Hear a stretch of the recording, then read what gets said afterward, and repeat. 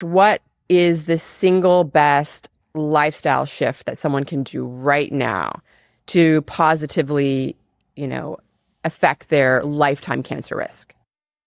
So every year in the US, about 2 million Americans are diagnosed with cancer.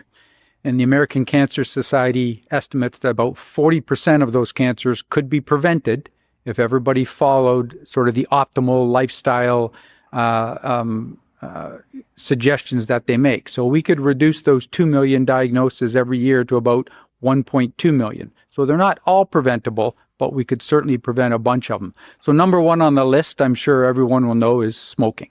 That's the biggest risk factor for cancer, and it's the one that many of the public health people have focused on for many years, reducing cancer rates, making great gains in cancer, uh, reductions in cancer rates because of reductions in smoking. Uh, assuming you're not smoking, which is 80 to 85 percent uh, of the American population, obesity is actually the second on the list of risk factors for developing cancer. Unfortunately, obesity is going in the other direction. As smoking rates go down, obesity rates are going up. So we're starting to see more obesity related cancers. Uh, assuming you're not smoking and you're not obese, next on the list is actually alcohol consumption. You might have heard of the Surgeon General's warning recently about the link between alcohol and cancer that many people are not aware of. So there's a lot of alcohol related cancers as well. After those sort of big three lifestyle changes, yes, exercise and diet are important. And exercise has been shown to reduce the risk uh, you know, maybe eight to 10 of those cancers. There's over a 100 different types of cancer. So it's a, it's a very complicated disease, all different cancer types. But we now have evidence suggesting that exercise will lower the risk of getting some of those cancers, particularly colon cancer, breast cancer, endometrial cancer, and several other cancers as well, such as stomach cancer, uh, esophageal cancer, and a few others. So, yes, some evidence that these lifestyle chances really can reduce your risk of getting cancer. If if someone had limited time and resources in the sort of 80 20 sense, so if you were going to put in 20% of your effort to kind of get 80% of the reward, do you think that, you know, what are some of the prevention strategies that would give you the biggest bang for your buck? Like cancer screenings, exercise, things like that. So for sure, if you're a smoker, that's absolutely the best thing you can do is quit smoking, and you can really substantially reduce your risk by quitting smoking, and and it has um, fairly quick benefits in terms of lowering uh, cancer rates. If you're obese, then yes, going on a weight loss program and reducing obesity would be the biggest thing. If you're a heavy drinker, then that's going to be a key thing. Assuming you're none of the above, you're not particularly overweight or smoking or uh, drinking heavily, then I think exercise really is next on the list. Um, and, you know, the general recommendation uh, is the public health guidelines of about 150 minutes per week of moderate to vigorous intensity aerobic exercise. Some evidence has suggested muscular strength training can lower the risk of some of these cancers as well, but most of the recommendations are really around sort of um, moderate to vigorous intensity physical activity. I know, I know. Um, the major area of focus of your research is looking at how exercise affects cancer treatment, but I, I there are some interesting questions I have with prevention as well. You're mentioning obesity being a big risk factor for for a, a variety of different obesity related cancers, and perhaps there's people that have genetic predispositions. Um, maybe they have you know some of these BRCA1, BRCA2 um, single nucleotide polymorphisms that may increase the risk of breast cancer, for example. Um, is there any evidence, or do you have any opinions on whether someone that may have those risk factors if they're if they incorporate you know exercise into their their personal hygiene is that um, something that can help negate some of that cancer risk even if they still have the genetic predisposition or even are obese for example yeah, there is good evidence on that. So, one of the mechanisms how exercise might lower the risk is through managing obesity.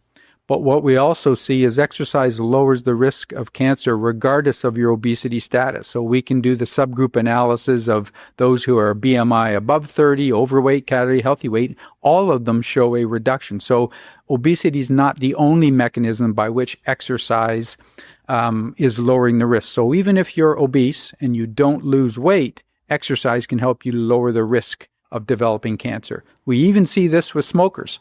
So we can break them into sort of the smokers and the non-smokers with lung ca- cancer risk. And even those who are smoking, exercise will help them lower the risk. Of course, that's small compared to the impact of not smoking. But it shows that exercise works within these groups to lower the risk.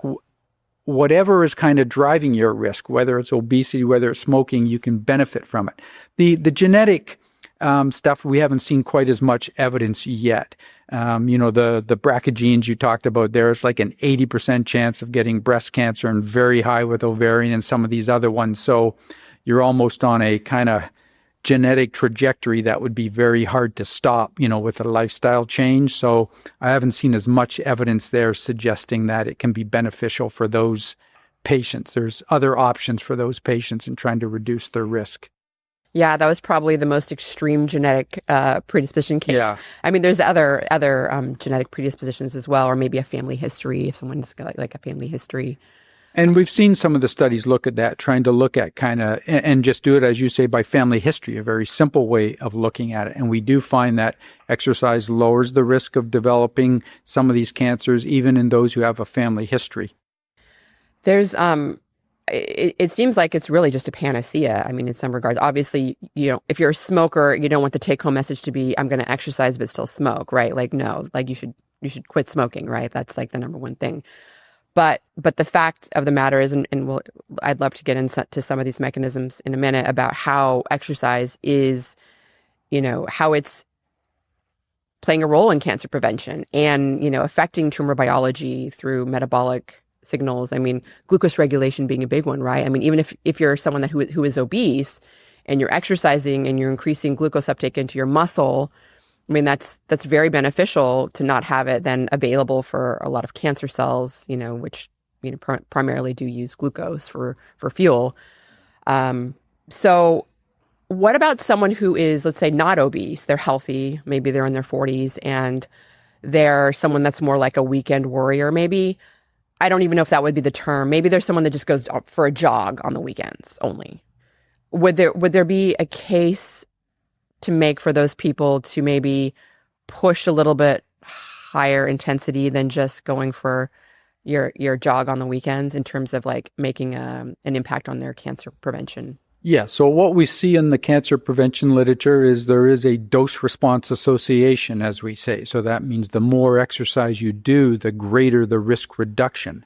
So even though we can kind of look at different cut points and say, here's kind of uh, amount of exercise that will give you a, a benefit, we know that more is better.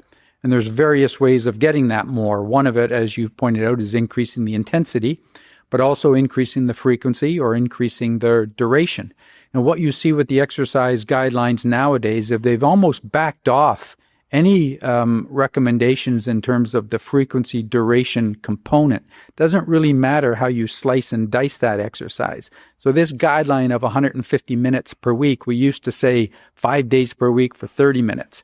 And then we used to say, okay, well, spread it out over at least three days and in minimum durations of 10 minutes. And now they're not even saying to spread it out over multiple days. And they're not even saying it needs to be a minimum of 10 minutes at once. So the whole weekend warrior thing brought well, you can probably go on a Saturday and Sunday and do 50 minutes, you know, if you're out doing a, uh, a hiking or, or some other activity. And that might be just as beneficial as spreading it out over different days. Now that's on the prevention side of things. Things get trickier, I think, on, on treatment side of things where maybe, maybe more frequent bouts are important because you're looking at the acute effects of exercise, accumulating acute effects. But in terms of the general prevention strategy, the, the more you do, the better. And it doesn't really matter how you slice it up over the course of a week, as long as you get to that 150 minutes. Is there a limit on that? So we're saying 150 minutes of moderate intensity exercise. You know, depending on where you, what journal you read for the definition of moderate intensity exercise, you'll find it's, you know, your your heart your heart rate max is going to like what 70%, 75% heart rate max. Um, so I mean, you're you're getting some sweat on your brow there. If you were to do, let's say, 300 minutes a week, you were to double that of moderate intensity, or you're going to also increase the intensity, right? So you're doing more vigorous types of exercise. You're going above that 70, 75%. You're going to 80% max heart rate. Would you continue to see decreases in cancer risk in that? I mean, is there is there a limit? Like, does it yeah, it's a good it's a good question. So the general recommendation is actually 150 to 300 minutes. So you know 150 we kind of as the minimum to getting these benefits, and then those benefits will continue to accrue up to about 300 minutes, and then the curves kind of plateau after that. You know you can certainly do more than that, but in terms of bang for your buck and really getting the benefits is getting up to that 150 minutes, and then further increases uh, as you get to 300 minutes. But it does kind of plateau after that. Okay. So really it's better to be on the higher end of the recommendations, whether that's, you know, the moderate intensity exercise 300 minutes a week or vigorous intensity, the higher end being what, 150 minutes? That's right. Okay. Yeah. So it is viewed more as the minimum of achieving that. And all these guidelines note that further benefits can be gained by doing more. So we set that guideline around 150 and additionally getting up to 300 can be more. And generally, the guidelines just sort of double weight vigorous minutes. So when we say it can be 150 minutes of moderate or 75 minutes of vigorous, you kind of get double credit for the vigorous intensity exercise or any combination of the two. It doesn't have to be all moderate or all vigorous. You can mix it up as well. But that's roughly uh, um, the extra benefit of the vigorous is this kind of double weighting that you're probably getting about twice the benefit as you might get with moderate intensity exercise.